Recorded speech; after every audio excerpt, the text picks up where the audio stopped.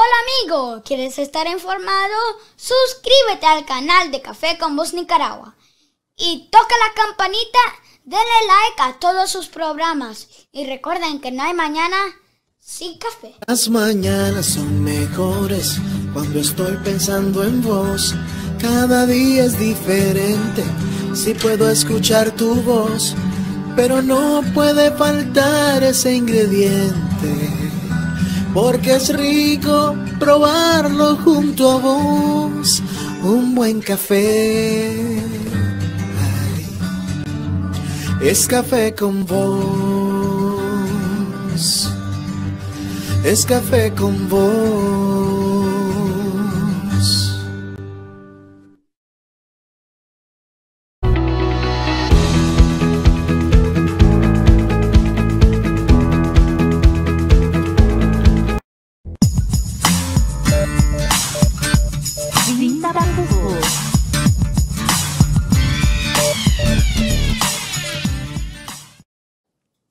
Acá estamos amigos, gracias por seguir con nosotros en Café con Voz, el saborcito de estar informado.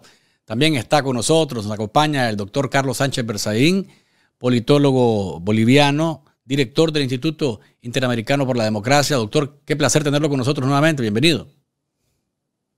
Don Luis, a usted y a toda su importante audiencia. Qué bueno que podemos platicar estos minutos.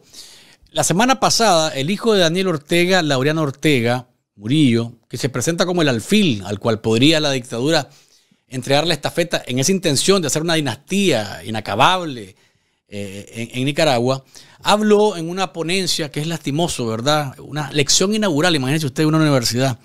Un muchacho que quedó aplazado varias veces en primaria, en secundaria y en la universidad. Pero bueno, son esas cosas decadentes que están pasando en Nicaragua. Una lección, una lección inaugural de una universidad de Nicaragua dice, la dictadura del dólar está a punto de caer, va a caer, no hay manera de que este cambio eh, se detenga. Usted que es un hombre conocedor, ¿verdad?, de, estos trucos eh, de las dictaduras, ¿cómo ve tal afirmación y qué tan posible es que algo así ocurra? Bueno, primero yo le diría que dar importancia a ese tipo de personajes es penoso. Vamos a comentar el tema desde el punto de vista de que lo expresado por, esa, por el eh, entorno de la dictadura nicaragüense, por el hijo de los dictadores, eh, tiene mucho de ignorancia. Primero porque eh, el dólar es un sistema, es, es una moneda internacional la más importante en el mundo después de la Segunda Guerra Mundial. Para llegar a aquello se tuvo que pasar por los acuerdos de Bretton Woods, que son los acuerdos que fijan el sistema económico internacional y que después en el marco de las Naciones Unidas dan lugar a la creación de lo que se llamó inicialmente el Banco Internacional de Cooperación y Desarrollo, convertido en el Banco Mundial. Se creó luego el Fondo Monetario Internacional con el propósito de encargarse del control de cambios y la estabilidad monetaria a nivel mundial y de esa manera Después de la Segunda Guerra Mundial se construyó un sistema económico mundial. Y el dólar es la moneda más importante del mundo y es la moneda de referencia mundial, porque es la moneda que en el momento de terminar la Segunda Guerra Mundial representaba eh, el valor de cambio como representa hoy día eh, más importante en el mundo. En ese momento, además de que Estados Unidos tenía más del 50% del Producto Interno Bruto Mundial, el dólar era aceptado en todo el mundo y hoy día eso en vez de disminuir ha crecido. ¿De qué se trata esto que expresa como una repetición el joven Ortega? Se trata simplemente de una estrategia, de una narrativa propuesta por el sistema de dictaduras que están tratando de articularse a nivel mundial después de la invasión de Rusia a Ucrania. Es conocido que el mundo occidental, que las democracias han impuesto una serie de sanciones a Rusia que está en un estado de quiebra económica. Entonces, como no puede transar con dólares, ha acudido a la ayuda de China. China está auxiliando a Rusia y lo hace con yuanes, lo que ha eh, supuesto el incremento del intercambio en yuanes entre China y Rusia de un 5% que antes de la guerra a un 30% actualmente. Entonces les ha ocurrido a las dictaduras que no tienen economía, que tienen crisis humanitarias y que no tienen capacidad de poseer dólares, porque nadie se los va a dar. A ver, veamos. Cuba y Venezuela son crisis humanitarias. No tienen ni contabilidad, ni reservas, ni nada. Y cuando se trata de dólares, todo lo que tienen es deuda o remesas que reciben, pero siempre viven deficitariamente. Nicaragua y Bolivia, en el mismo sistema del castrochavismo, son dictaduras en una crisis económica profunda. En Bolivia acaba de suceder la desaparición del dólar, han quebrado dos bancos de los más grandes, y en Nicaragua lo que ustedes tienen es un control de parte del Estado de dólares que no tiene. El sistema económico mundial está operado por el dólar. Entonces lo que pasa con las dictaduras es como no tienen dólares, están hablando de yuanes porque China puede darles unos yuanes por determinado tiempo y permitirles a muy alto costo, porque no se los regala, permanecer a flote un tiempo más. Esto que, que se plantea como la narrativa de sustituir el dólar por el yuan es simplemente una maniobra para seguir eh, estafando a los pueblos, para seguir hundiéndolos en la pobreza a costa de deuda externa carísima, esta vez con China, que les va a dar su moneda y tratar de sobrevivir las dictaduras por un poco de tiempo más. No tiene ninguna posibilidad de que eso suceda, no tiene ninguna capacidad para que eso además se exprese desde la dictadura de Nicaragua y simplemente es eso, es una suma de ignorancia con narrativa tratando de lo que popularmente se diría están tratando de marear el escenario con estas eh, cortinas de humo que les permiten eh, tratar de engañar a la gente frecuentemente. Ahora, decía este muchacho que ya se hacen transacciones sin tomar en cuenta el dólar. Y es más o menos lo que nos explica usted. ¿Qué tan factible es eso en el tiempo y en el espacio? Porque hace un tiempo aparecía el Sucre eh, entre los que formaban parte del ALBA y entonces habían transacciones entre ellos y desaparecían los dólares y entonces, bueno, pues no había necesidad de tomar en cuenta los Estados Unidos. ¿Qué tan factible es en el tiempo y en el espacio, doctor Sánchez? Esto? Mire, no puede, no puede hacer transacciones con lo que no tiene. El no tener dólares es una señal de pobreza. El no tener dólares es una señal de quiebra.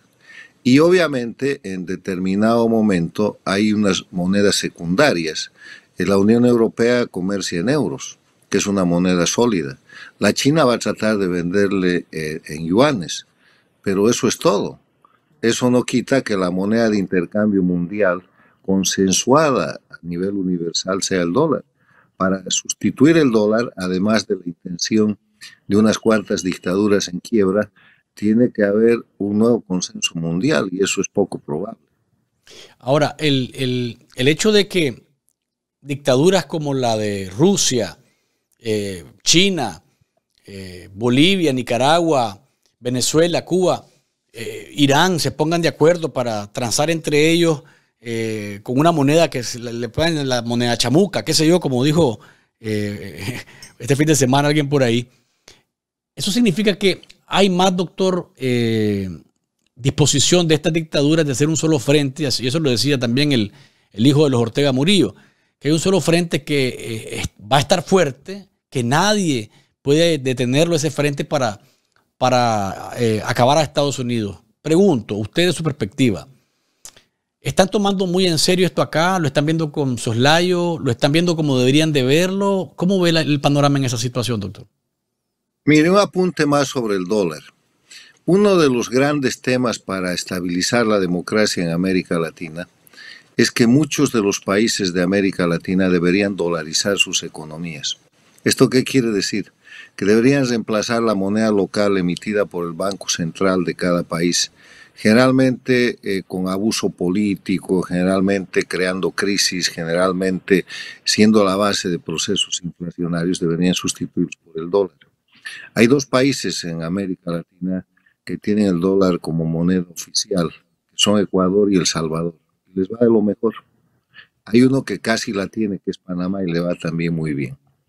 Mi sugerencia eh, de análisis es que países como por ejemplo la Argentina, Bolivia saliendo de la dictadura, eh, Colombia, que es un país tan importante, deberían pensar en la dolarización, porque la dolarización da mucha estabilidad. Y obviamente en Nicaragua, cuando se salga de la dictadura, uno eh, de los grandes temas es que hay que dolarizar Nicaragua para evitar que el gobierno tenga el manejo de la moneda y que con eso genere otra dinámica de oprobio y de inestabilidad democrática. Dicho eso, lo que hay que, eh, para ir a, a, su segunda pregunta, lo que hay que ver en las dictaduras es que ellas están unidas por su metodología y por su naturaleza, pero no tienen ninguna unidad de carácter ideológico y menos programático. Esto ha sido desatado por la invasión de Rusia a Ucrania. ¿Y quién en verdad está ganando la guerra entre Rusia y Ucrania? En el campo de batalla es Ucrania, pero en el campo político es China. Porque China se está adueñando de Rusia. China está asistiendo a Rusia, está comprando a Rusia, está yuanizando Rusia y la está sometiendo. No es un trato entre iguales. Las dictaduras más importantes del mundo son China, que es una dictadura comunista, de un comunismo capitalista en un mundo globalizado, eh, Rusia, que es una dictadura de corte nacionalista, eh, Corea del Norte, que es una dictadura hegemónica de corte familiar y dogmático, Irán, eh, que es una dictadura teocrática fundada en creencias religiosas, cuelgan gente, obligan a la utilización de determinadas ropas, velos. Y para venir rápidamente a las Américas, las dictaduras de las Américas, las dictaduras castrochavistas, son de naturaleza de crimen organizado porque son narcoestados. En América Latina, uh, las dictaduras de Cuba, Bolivia, Nicaragua, Venezuela, han liquidado cualquier posibilidad ideológica. ¿Quién cree en Cuba en la revolución cubana? Nadie. ¿Quién cree en Venezuela en la revolución bolivariana? Nadie. ¿Quién cree en la revolución sandinista en Nicaragua? Nadie. ¿Quién cree en el proceso de cambio en Bolivia? Nadie. No tienen ninguna ideología, es puro crimen organizado. Detentan el poder con violencia y no tienen siquiera el concepto de una organización estructural como puede tener la China comunista. Y en ese sentido es muy poco probable que más allá de su coincidente antiimperialismo como discurso, que eh, más que ser antiimperialismo contra los Estados Unidos es una posición absolutamente en contra de las democracias, eh, no tiene ninguna otra capacidad de coincidencia. ¿Qué coincidencia tiene la dictadura teocrática de Irán con la dictadura eh, rusa o la dictadura china si no es atacar a los Estados Unidos?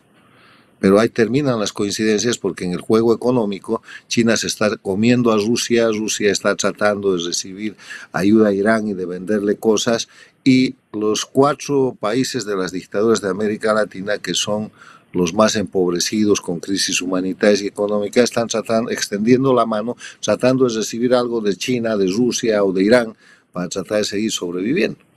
Entonces, en ese escenario, el, el proceso de la unidad dictatorial es un proceso coyuntural, están tratando de retomar, retomar o retornar a un mundo bipolar como era el mundo de la Guerra Fría antes de la desaparición de la Unión Soviética, donde un bloque era comunista y el otro era capitalista, el capitalismo ganó, eh, para tratar de hacer un bloque de dictaduras contra un bloque de democracias pero no les dan las condiciones. Lo que vive en este momento el mundo es más bien un multipolarismo desorganizado. Hay focos eh, de diferentes eh, posiciones de poder en el mundo que tratan de desafiar el último escenario que ha tenido el mundo, que fue el, eh, el unipolarismo de Estados Unidos, que después de que Estados Unidos derrota al comunismo, implosiona la Unión Soviética 90-91, eh, se extiende prácticamente hasta nuestros días con estos desafíos que presenciamos por parte de las dictaduras. Entonces, eh, este es un proceso en curso, pero eh, si hablamos de unidad entre las dictaduras, va a haber una dominante entre ellas, un jefe que va a ser China, y Rusia no lo va a aceptar, Irán no se va a someter. Es posible que las dictaduras latinoamericanas se entreguen porque están en una situación de crisis humanitaria tan grande que pueden hacer cualquier cosa. Y eso se entiende básicamente no por una razón económica. Más allá de las remesas, más allá de la explotación de cierto tipo de ayudas, no tienen posibilidad ni Nicaragua, ni Cuba, ni Bolivia, ni Venezuela de recibir un dólar más del sistema económico mundial. Están prácticamente aniquiladas en el Banco Mundial, en la lista reconcha negra del Fondo Monetario Internacional.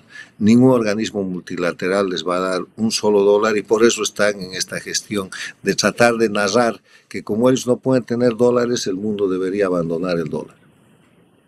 Increíble. Eh, doctor, aprovecho su, su, su, comparecencia en el programa para preguntarle por rápidamente por lo que está pasando con esto de, de, de Petro en, Venezuela, en Colombia eh, su alianza con Maduro está cada vez más, más evidente, sus muestras de complacencia y de tratar de salvar a Maduro como dictador y tratar de incorporarlo al sistema interamericano sigue siendo una insistencia que, uno la nota muy rápidamente y, lo que pasó con Guaidó. Pero además dijo en, la, en, la, en, en, el Consejo Permanente de la OEA que hay que reformar la Carta Fundacional de la OEA. Y uno dice, ¿a qué está apostando Petro?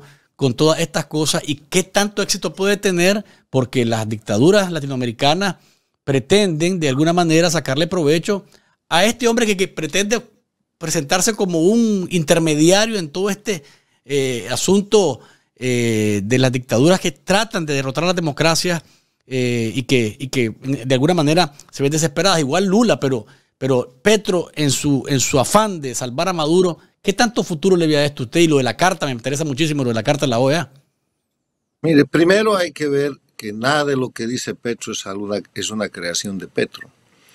Esto es reformar la Carta de la OEA, es un antiguo pedido de Cuba desde la década de los 60. Después lo ha repetido cada dictadura que ha podido. Lo ha repetido Evo Morales, lo ha repetido Chávez, lo ha repetido. Después de que pierden el control de la OEA, cuando sale de ahí insulsa, después de los 10 años insulsos en los que controlaron la OEA porque tenían la mayoría de votos de los países de la región, eh, empiezan con ese discurso. Lo ha dicho Maduro, lo ha dicho todo el mundo, lo ha dicho el, propio régimen de Nicaragua. Entonces, eh, nada de lo que dice eh, Petro le pertenece a. Petro es un vocero, es un operador, es un subordinado del caso chavismo que está siguiendo la agenda de Cuba. Y la agenda de Cuba le ha dicho que tiene que salvar a la dictadura de Maduro, que tiene que habilitar la dictadura de Maduro, porque la dictadura de Maduro es la principal fuente económica para seguir subsidiando y para seguir regalando petróleo y dinero a la dictadura cubana. En ese escenario, lo que pasa es que eh, Petro ha empezado su gestión con un discurso muy curioso, que es el de decir que la lucha contra el narcotráfico ha fracasado y que hay que legalizar las drogas. Discurso que tampoco le pertenece, que corresponde al castrismo y después al castrochavismo, planteado por en su momento por Fidel Castro, repetido por Evo Morales, planteado por una serie de personajes que representan el tratar de justificar a través de la legalización de las drogas el crimen que ellos cometen al ser narcoestados y parte de la cadena del narcotráfico. Con ese, eh, con ese seno estelar de Petro después se mete con el tema de Venezuela y utilizando las capacidades de jefe de Estado de Colombia, que es un país importante, viene a los Estados Unidos y presenta de nuevo estas superadas, descartadas y repudiadas teorías y planteamientos en el hecho de decir, por ejemplo, que hay que cambiar la Carta de la OEA, o en el hecho de decir que hay que incorporar al crimen organizado a la actividad política normal, trayendo a, a, Maduro sin ninguna condición al consenso internacional para que se olviden las acusaciones criminales por tráfico de drogas como jefe del cartel de los soles, el cartel más importante de narcotráfico de Venezuela, por el cual hay 15 millones de dólares de premio internacional por la captura de Maduro.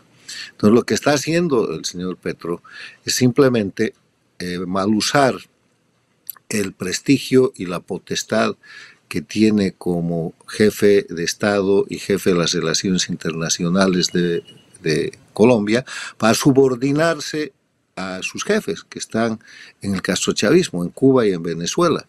No es una iniciativa, es un acto de obediencia y de subordinación el que realiza Petro eh, repitiendo planteamientos que además ya han sido ejecutados. él aparece en escena con el tema venezolano cuando se desgasta el tema cubano, donde otro operador del castrochavismo, López Obrador, había armado una mesa de diálogo, había establecido una serie de mecanismos que le dieron mucha ventaja al dictador venezolano y que incluso recibió en México a Maduro como si fuera jefe de Estado. O sea, lo de Petro no es nada nuevo y se presenta simplemente dos cosas.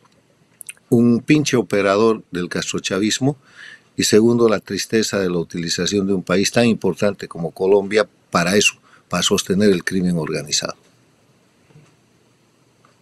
Ahora bien, doctor, el, el futuro, ¿cómo lo ve en relación a, a Venezuela? Porque Maduro ya puso las condiciones para supuestamente presentar o abrirse a un proceso electoral libre en el que los venezolanos puedan decidir su presente y su futuro. Bueno, primero que la Corte Penal no lo siga investigando, después que liberen a Alepsap, que levanten todas las sanciones y que le devuelvan los, mil, los 3.200 millones y el oro de Venezuela. Mientras eso dice Maduro, Juan Guaidó viene acá expulsado por Colombia, da una conferencia de prensa y dice que en todos los escenarios hay que participar allá en, Venezuela si se abriera un proceso electoral. Incluso si se repitieran las encarcelaciones, o los encarcelamientos, perdón, que se dieron en Nicaragua, allá en Venezuela, que también con todo eso habría que participar. ¿Qué piensa usted de eso? Mire, primero yo creo que las dictaduras no se van con elecciones, porque cualquier evento en las dictaduras es de dictadura electoralista, que es un concepto que yo he introducido a la discusión y que describe eh, como aquel eh, sistema eh, que controla todos los poderes, que no respeta los derechos humanos y que concentra el poder en una persona o en un grupo, que es una dictadura, que realiza eventos electorales en los que el pueblo vota pero no elige. No hay ninguna posibilidad de que hayan elecciones libres, transparentes, ni en Cuba, ni en Venezuela, ni en Nicaragua, ni en Bolivia, porque simplemente el gobierno controla todo y el primer control que hace, donde está la base del fraude electoral, es el padrón electoral y después todo lo demás. Eh, ha visto eh, el, drama que ha sido todo un sainete nicaragüense, donde para tratar de ganar una elección, entre comillas, el dictador Ortega ha metido preso a todos los candidatos de oposición. Los ha tenido presos y torturados durante un tiempo y después los ha expulsado del país y ha pretendido quitar su nacionalidad. Entonces, en ese escenario, lo que eh, pasa es que las dictaduras están desesperadas porque se están cayendo.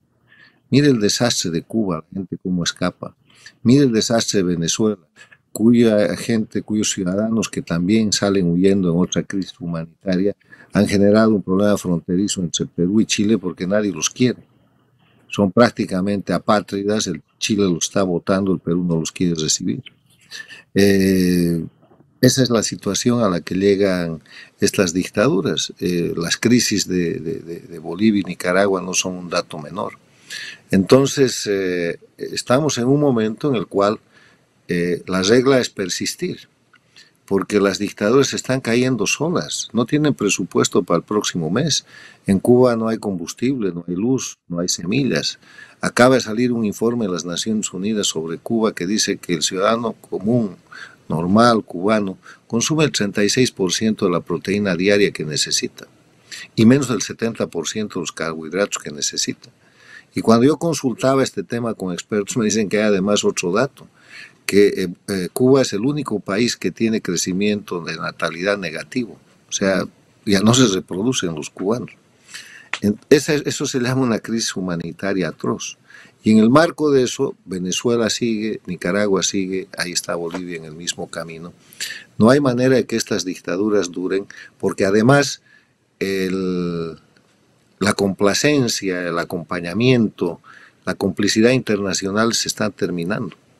Y se están terminando porque las dictaduras están tratando de atacar a todas las democracias y el, fin de las dictaduras está demasiado cerca hay dos condiciones para que eso suceda, que la comunidad internacional cumpla las obligaciones que tiene y que los pueblos sigan luchando y, lo, de los pueblos luchando nunca va a parar. O sea que eh, yo creo que las dictaduras deberían prontamente, si quieren alguna salida, a venirse a un proceso real de transición, no engañoso como el que está planteando Maduro, que ya lo ha hecho varias veces además. ¿De qué están hablando en Venezuela? Si Maduro ya los ha llevado a elecciones varias veces, los ha engañado, los ha perseguido, los ha encarcelado, le han ganado las elecciones, les ha quitado el poder, los ha perseguido, los ha encarcelado, han creado un gobierno legítimo y, y viene lo mismo. Entonces, en ese marco, yo creo que no hay posibilidad alguna de creer que se puede negociar con el crimen organizado, porque además el precio es demasiado alto. Hay que perdonar crímenes, hay que ignorar el narcotráfico, hay que liberar delincuentes, hay que encubrir crímenes de lesa humanidad y no hay ser sobre la tierra por poder que tenga con capacidad jurídica ni moral para hacer eso. ¿Quién es capaz de eh, dar amnistía, de dar perdón o de ignorar un crimen de lesa humanidad? Nadie. Entonces están pidiendo algo imposible y el que lo haga está condenado a caer con las dictaduras. Y para finalizar, doctor, ¿qué tan posible entonces es que la comunidad internacional cumpla con sus obligaciones? Usted acaba de decirlo cumpla con sus obligaciones. Porque en cantidad de ocasiones, en foros, en talleres, en entrevistas, yo le he escuchado a usted decir que a estos delincuentes del Castro Chavismo y de todas estas mafias internacionales hay que tratarlos como eso. y hay instrumentos suficientes para hacerlo. Sin embargo, lo siguen tratando como gobernantes.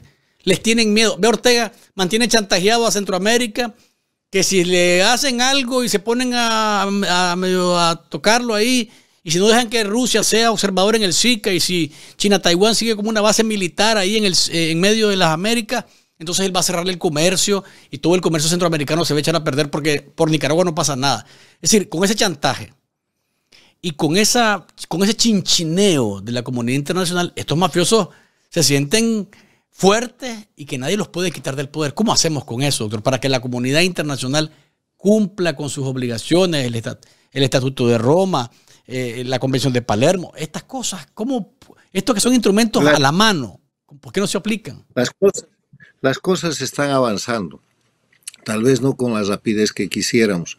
El triunfo del presidente Peña en la elección del Ecuador, presidente de, Paraguay, Paraguay electo que acaba de suceder ayer es una gran señal. La otra señal es lo que está pasando en la Argentina. Van a elecciones y no hay posibilidad de que un castrochavista gane la elección en ese país. Boric está tratando de desmarcarse como puede. El Perú ha caído. Lula salió con gran estrépito en su gira a China a decir cosas y ya lo han puesto en su lugar. Ya ha cambiado el discurso, ya está callado, porque Brasil es más que Lula, es una potencia. Y eh, en Colombia no va a tardar en suceder aquello. La crisis económica se está arrastrando a las dictaduras y los, eh, la comunidad internacional se está dando cuenta que tiene que cumplir. Y tiene que cumplir eh, cada vez con mayor efectividad.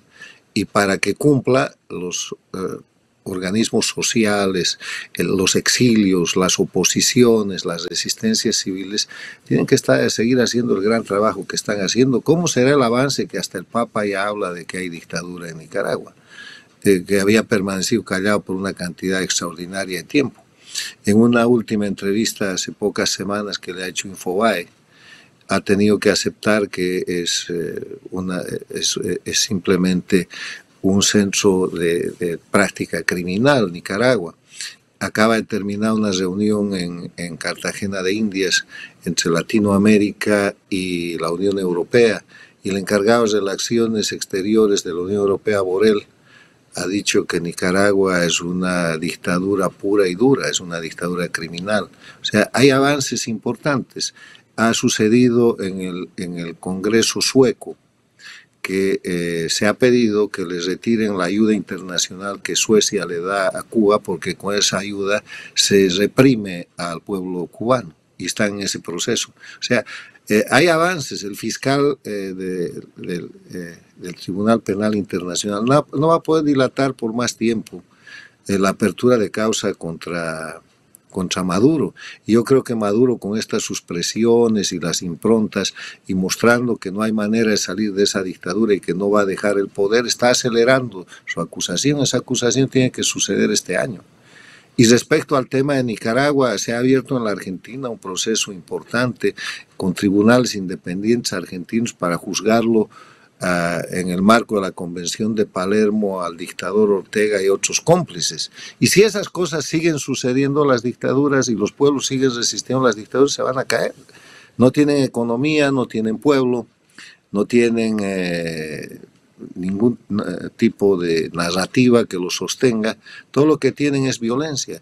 Y la violencia se, se, va a terminar eh, consumiendo a sí misma.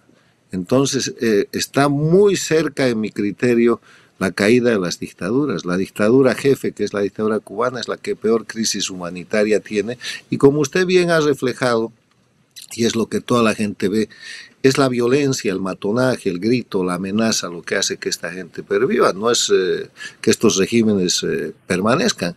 No es otra cosa los presos políticos, la tortura, el exilio, el narcotráfico, la extorsión, el secuestro, todas las formas de violación de derechos humanos que ellos ejercen. Son, regímenes criminales y los eh, países yo creo que están cada vez más eh, inclinados a, a, cumplir sus obligaciones internacionales porque se dan cuenta de que esta organización criminal es la primera amenaza para ellas, para ellos. A ver, eh, la crisis que hay en este momento entre Perú y Chile. ¿Por qué es? Porque hay, hay una cantidad de pobladores venezolanos que han salido huyendo de su país. ¿Y quién creó la crisis? La dictadura de Venezuela. ¿Por qué? Porque copió y fue ocupada por el sistema castrista cubano. Entonces, si los gobiernos de Chile y Perú hoy día no saben que su crisis migratoria es una crisis generada, alentada y manipulada por las dictaduras a las que Boric respalda y con la que fue elegida la vicepresidenta de Castillo, que hoy día es presidenta del Perú, no saben nada. La realidad los está derrotando, de eso se trata.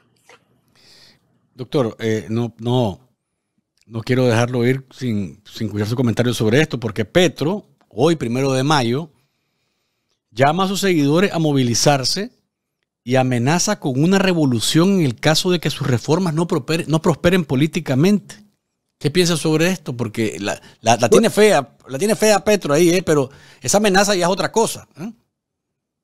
Bueno, es la violencia, eso es, eh, esa es la manera como Chávez ha construido la dictadura en Venezuela.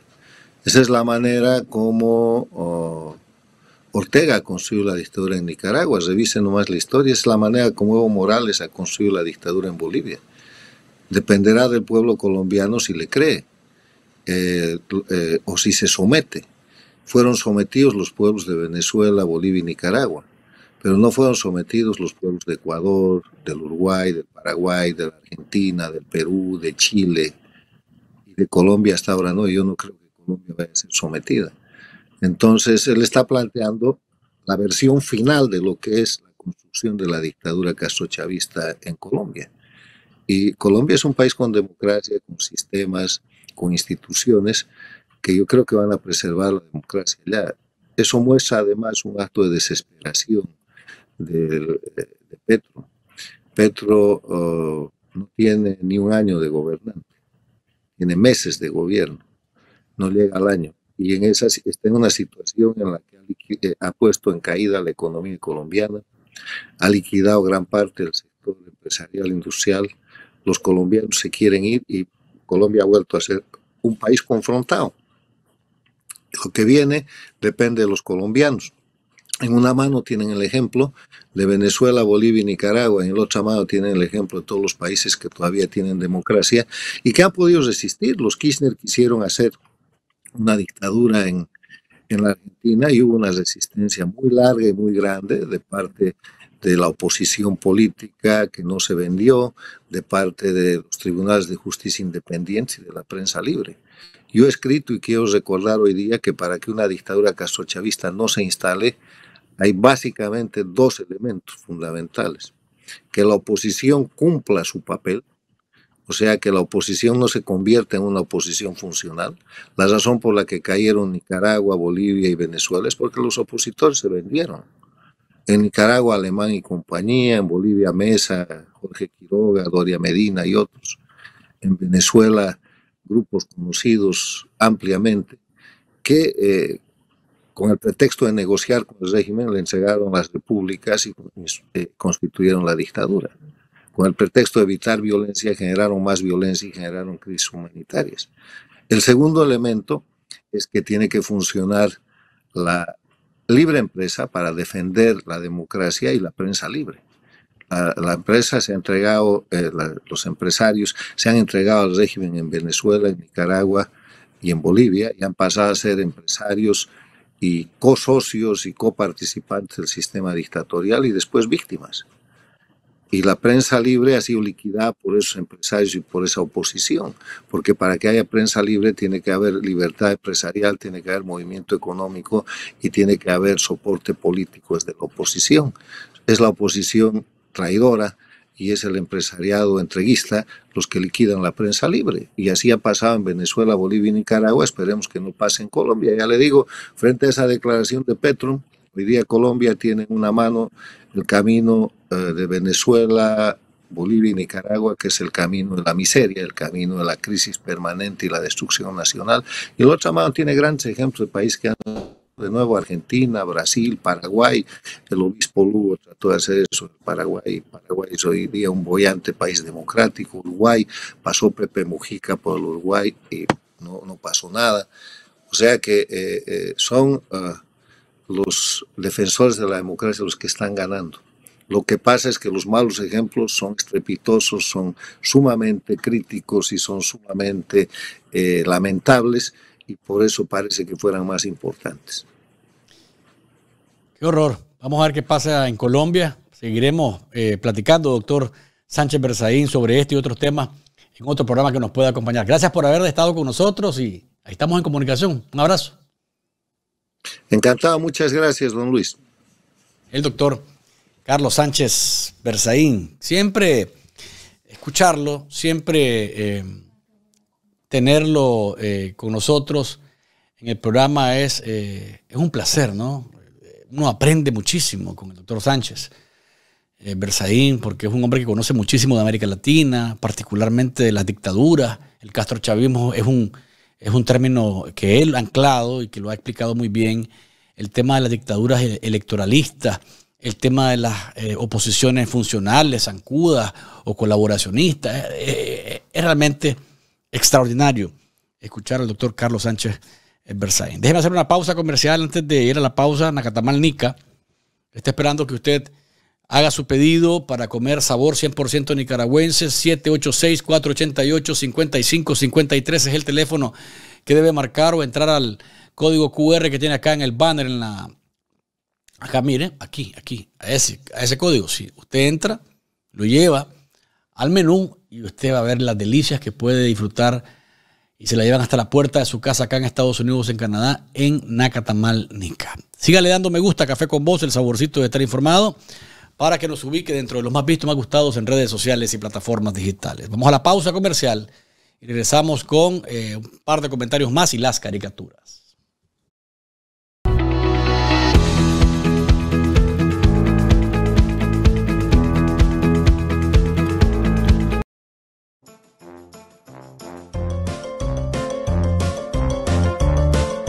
Hoy es un buen día, sí, un buen día para suscribirse y tocar la campanita. A ver si la bruja loca me deja tocar campanitas tranquilo. Chamuca, bruja endemoniada, no te escondas.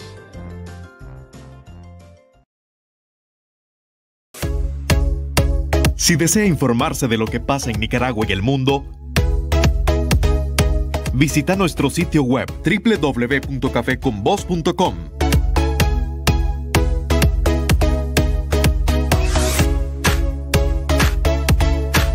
Síguenos en nuestras redes sociales y suscríbete a nuestro canal de YouTube. Tu plan pago sin límites, más música, más entretenimiento, apps de ubicación y redes sociales ilimitadas con smartphone incluido sin prima. Nokia G10, Motorola E30. Contratalo en tu tienda Claro más cercana.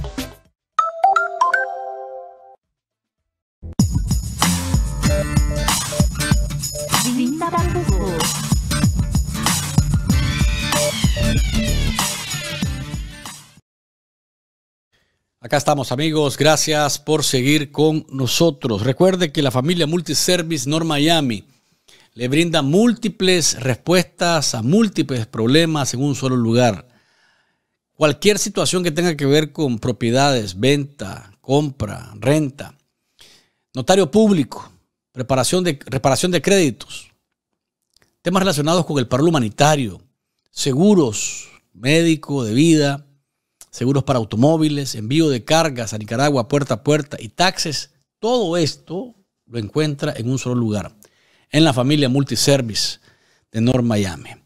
Y recuerde que el doctor Alfonso Oviedo Reyes y American Immigration Bureau están ahí en el 305-613-6409 para que cualquier problema legal migratorio sea resuelto por ellos. Lo puede representar en una corte eh, de migración, la corte estatal, la corte federal, la corte suprema de justicia. Tiene todas las herramientas, el conocimiento y la experiencia, el doctor Oviedo Reyes y American Immigration Bureau, para que usted se sienta tranquilo, para que sienta que su caso va a ser resuelto como merece usted.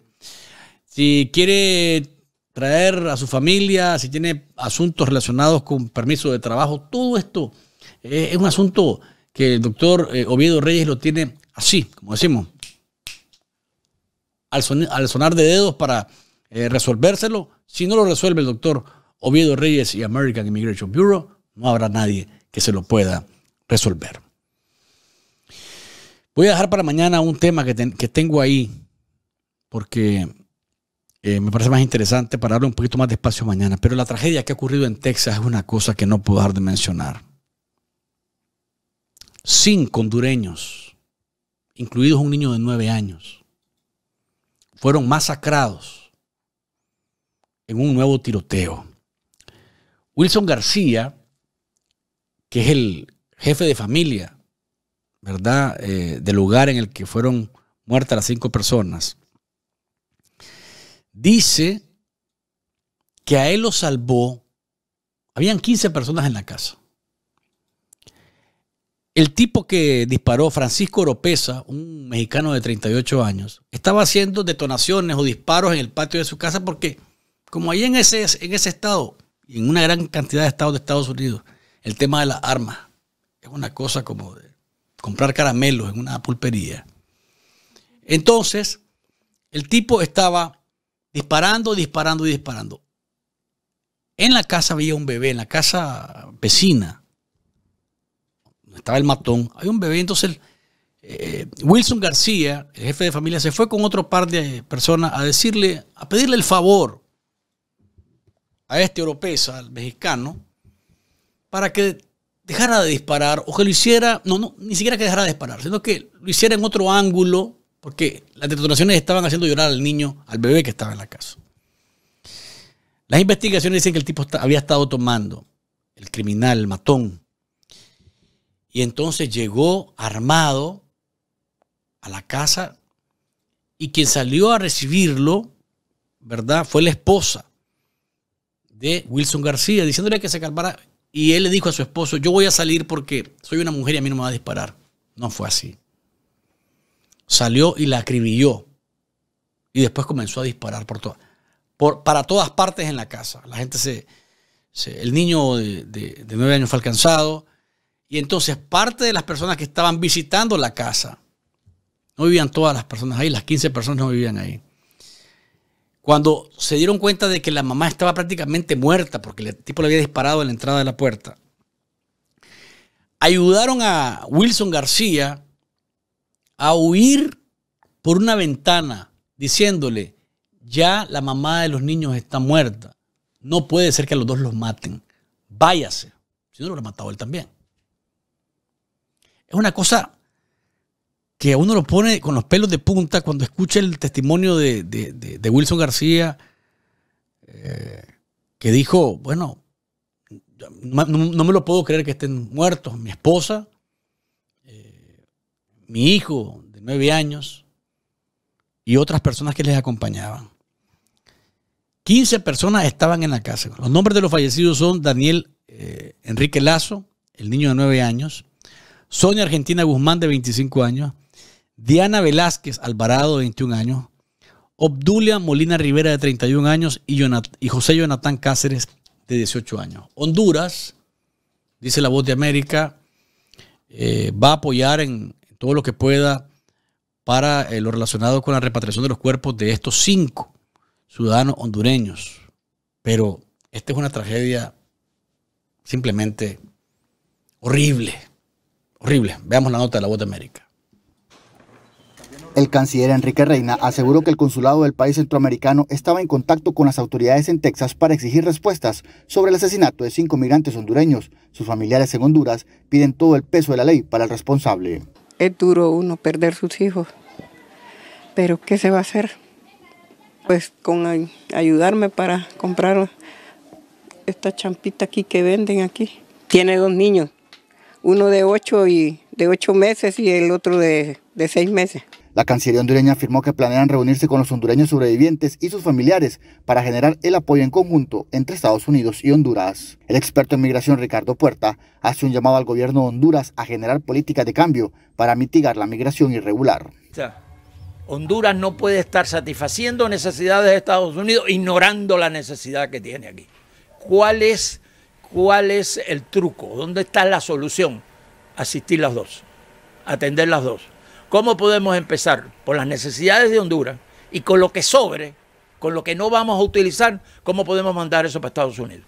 José Yanatán, Sonia Argentina, Diana Velázquez, Obdulia Medina, así como un menor de edad, perdieron la vida por el ataque armado del tirador identificado como Francisco Oropesa, de nacionalidad mexicana, quien continúa prófugo, y el gobierno de Estados Unidos ofrece una recompensa por su paradero. Oscar Ortiz, Voz de América, Honduras. Hay más de 200 oficiales de la policía buscando a este tipo. No lo han podido encontrar hasta ahora. Y ha generado una enorme polémica este tweet del gobernador de Texas, Greg Abbott. Vean ustedes lo que dice.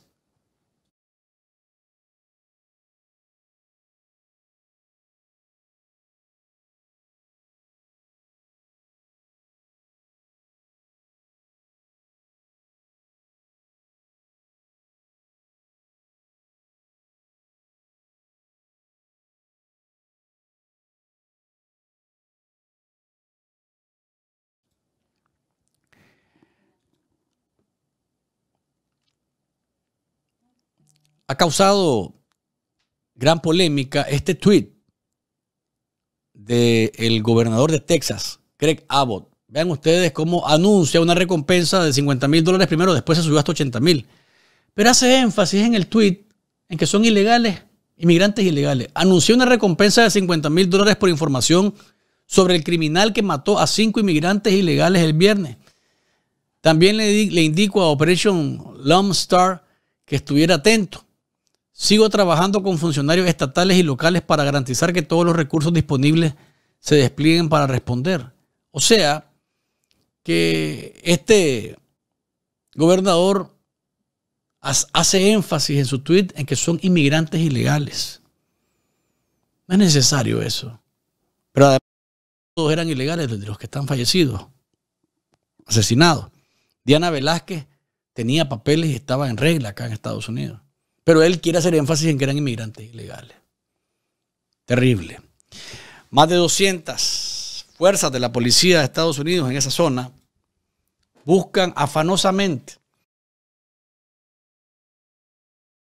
criminal mexicano que parece eh, poseído por eh, los alucinantes que había, consumido, comenzó a disparar y decidió entonces acabar con la vida con todo aquel que se pusiera enfrente de él, después de que llegaron a decirle que dejara de disparar. No, que no, que no, que dejara de disparar, sino que disparara a más distancia, porque se trata de una zona rural entre, en las cuales las casas no son vecinas con vecinas. O sea, eh, em, em, no son casas que están pegadas una con la otra, sino que son en la zona rural que son más distancias pero aún con todo y eso, los disparos que estaba haciendo, porque estaba a lo mejor eh, viendo eh, de los azules y que demás disparándole a... Llegaron a decirle que por favor que un niño estaba llorando, por, que, que lo hiciera a más distancia. No soportó eso, llegó y mató a quien se encontró enfrente. Parece que se trata de zonas boscosas y el tipo hasta se cambió de ropa, según lo que hay información hasta ahora, y ha sido imposible capturarlo hasta el momento. Bien. Es una tragedia monumental y el gobernador Abbott haciendo, haciendo gala de su eh, eh, proceder antimigrante, ¿no? Terrible, terrible. Haciendo énfasis en que son, que son ilegales. Fíjese usted qué barbaridad. Qué barbaridad. Hágase Patreon, recuerde, www.patreon.com pleca, café con voz. Ahí encuentra usted eh, la ruta para ser patrocinador directo de este programa. Muchísimas gracias a los que son Patreon, a los que se van a sumar, porque juntos rompemos el muro de la censura que Ortega y Murillo han querido eh, imponer en nuestra querida y sufrida Nicaragua. Vamos con las caricaturas de este lunes primero de mayo. Acá está la de Caco. Hoy nos presentó esta. Y aparece ahí un animal, aparecen tres animales o un burro de tres pisos. No, un burro de dos pisos con un par de compartimentos en la parte de arriba, doña Díquela. Sí, ¿verdad? Este? ¿Mm? un burro de dos pisos con un compartimento, con dos compartimentos en la parte eh, de arriba. O tres burros, uno eh, el que conocemos normalmente y dos montados eh, en él. Y dice, quítame por favor, doña Diquele Lobo, de Café con Vos para leer lo que dice uno de los animales que están encima del otro. Vamos por el camino correcto, comandante, juntos a votar la dictadura del dólar, dice. Y dice el burro mayor, pero ustedes los votan en nuestras cuentas. O sea, los dólares de ellos los votan en, las cuentas de la dictadura. Sí, señor. Así es. Vamos con la caricatura de Pedro Javier Molina. Hoy nos ha presentado esta.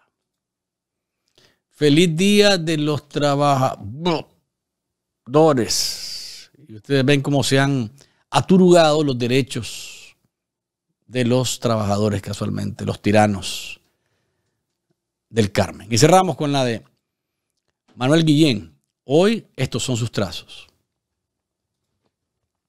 Sigue nuestro éxodo de sangre, y ahí aparecen los nicaragüenses, mayores, intermedios y menores, saliendo por la puerta de la que dice FSLN, no se sale, se sale pero no se entra, dice, se sale pero no se entra. Esas son las caricaturas de hoy. Antes de cerrar, aquí están las palabras de el obispo eh, de Matagalpa, que se trata de una voz que han querido callar y que nosotros todos los días les recordamos que no es posible, porque en programas como este su voz sigue sonando y va a seguir sonando por nosotros mismos. Siempre he dicho y he pensado que no existe solamente la discriminación política, no existe solamente la discriminación social, la discriminación económica, sino también existe la discriminación religiosa. No solo en el mundo político, social y económico se es discriminado cuando no se piensa igual que el poderoso de turno, cuando no se tiene el aval político, cuando no se tiene el aval del poderoso, del que manda, no solo en esos casos se es discriminado, no solo en esos casos se es excluido, no solo en esos casos se es apartado, no solo en esos casos se es expulsado, sino también muchas veces nosotros al nivel, interno de la iglesia, en nuestra propia fe, en nuestra propia religión, podemos discriminar religiosamente a otros cuando nos sentimos los buenos, los justos, los agraciados y los otros son los malos, los pecadores, los injustos y los desgraciados. Una iglesia entonces que sea capaz no solo de denunciar proféticamente las anomalías que cometen los otros, sino también de autodenunciarse en las anomalías que podemos cometer nosotros en nuestra fe, en nuestra iglesia y en nuestra religión. Esa es la iglesia de Jesucristo. Monseñor Rolando José Álvarez, que el Señor lo tenga fortalecido en su espíritu, en su, en su corazón y en su pensamiento. Seguimos reclamando su liberación porque está injustamente secuestrado. Gracias por habernos acompañado amigos en esta edición de lunes. Yo les recuerdo siempre que los muertos, los heridos, los desaparecidos, los secuestrados políticos, entre ellos el obispo de Matagalpa, señor Orlando Álvarez, los 313 que hemos sido desterrados por la dictadura y que nos han quitado eh, bienes, nos han robado, nos han robado todo lo que se les ha ocurrido, ¿verdad? A los eh, mostrencos, Ortega y Murillo. Nuestras familias y la mayoría del país vamos a seguir pidiendo verdad, justicia, libertad y democracia. Cambio, cambio y cambio. Manténgase firme y digno. Y recuerde que no hay mañana sin café.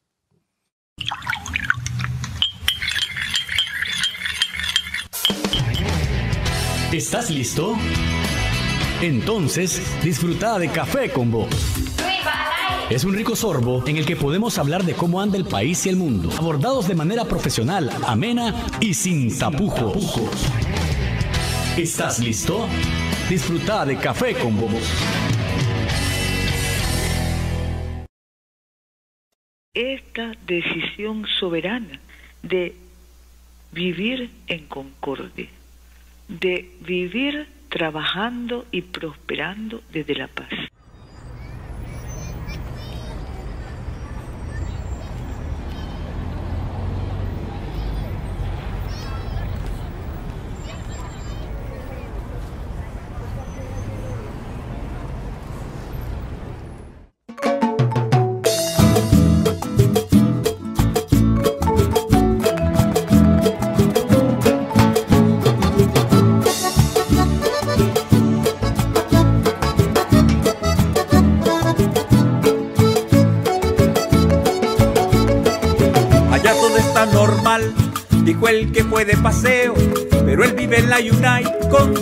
Y con dinero. Llegó a ver a su familia y a la vez a presumirles. Los llevo a Montelimar unos días consumibles. Cuando su viaje termine y regrese a la Unai, él llegará muy pachento hablando del bacanal. Mientras su familia queda sumida en la realidad, viviendo en la dictadura que le roba su dignidad. Sí está normal, con presos en el chipote. Sí está normal, ver con hambre a un cipote. Sí está normal, que el pueblo esté secuestrado. Sí está normal, viviendo en un largo estado. Si después de cinco años de lucha por libertad, decir que todo está bien y que todo está normal, yo solo puedo decirte que estamos muy divididos normalmente bien jodidos. Hey, entonces, Frick, ¿cómo es que todo está normal? Porque no te quedaste allá. Ahí te mando para la recarga. ¡Vamos,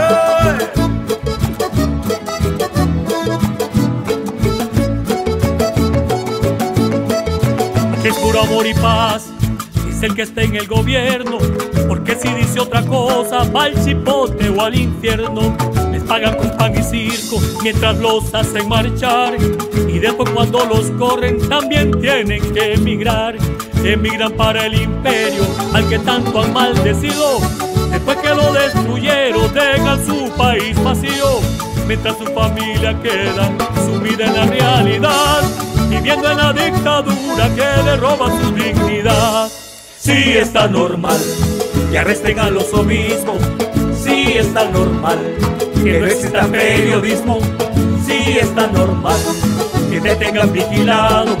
Sí está normal vivir como un esclavo. Si después de cinco años de lucha por libertad te quieren quitar la patria y la nacionalidad, yo solo puedo decirte que este pueblo es tuyo y mío que somos nicaragüenses, nicas hasta el molenillo. En honor a estos cinco años de lucha cívica por la libertad de Nicaragua, recuerden, el opresor no sería tan fuerte si no tuviese cómplices dentro del mismo pueblo oprimido. ¡Viva Nicaragua libre! Son de abril.